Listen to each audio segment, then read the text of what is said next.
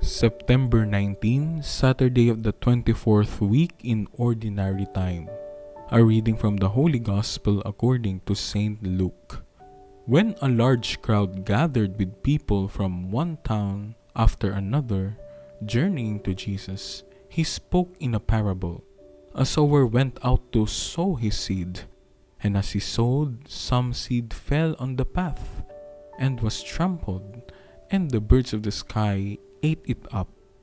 Some seed fell on rocky ground, and when it grew, it withered for lack of moisture.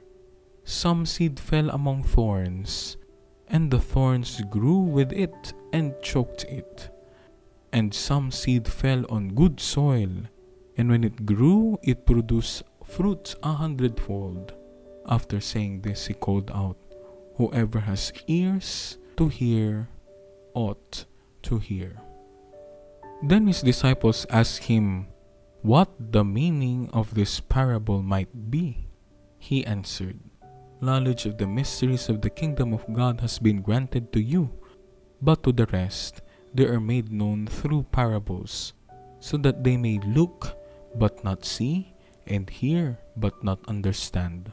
This is the meaning of the parable. The seed is the word of God, those on the path are the ones who have heard it, but the devil comes and takes away the word from their hearts, that they may not believe and be saved. Those on the rocky ground are the ones who, when they hear, receive the word with joy, but they have no root.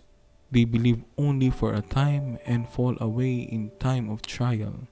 As for the seed that fell among thorns, they are the ones who have heard, but as they go along, they are choked by the anxieties and riches and pleasures of life, and they fail to produce mature fruit.